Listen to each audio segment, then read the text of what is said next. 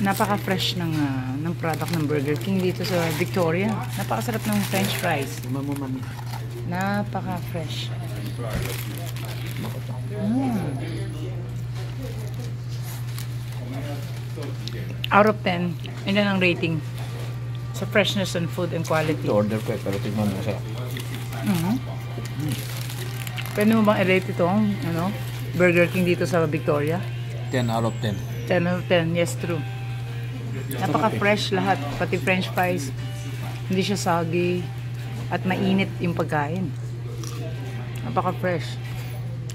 Mm. Masarap pati yung lasa ng french fries, no? Hindi siya lasang parang may flour. Mm.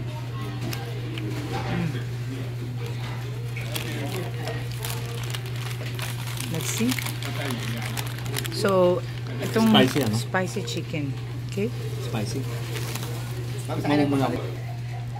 So, napaka-meaty niya, tsaka napakasarap. Hindi siya super spicy.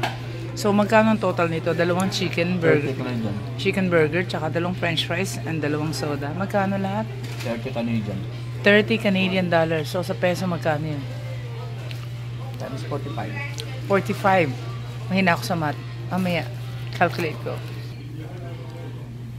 So, meron siyang tomato, meron siyang bacon, meron siyang cheese, and then napakadaming dressing niya. So, punong-puno siya ng flavors. Napaka-worth it niya sa amount niya. oh. Ang dressing niya is spicy pesto. Napakasarap. 450. 1,000 may dito.